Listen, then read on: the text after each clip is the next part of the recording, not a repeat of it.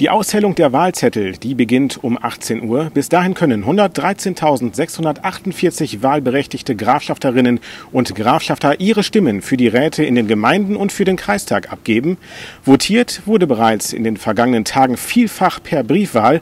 Auch diese Zettel, die werden erst ab 18 Uhr ausgewertet, aber die Wahlurnen, in denen die Unterlagen sicher verstaut wurden, die wurden bereits am Sonntagnachmittag geöffnet, damit es dann ab 18 Uhr möglichst schnell geht mit der Auszählung. Und wie hier in der Ludwig-Probe-Schule in Nordhorn zu sehen ist, wo die Briefwahl der Kreisstadt ausgezählt wird, kommt da schon einiges zusammen.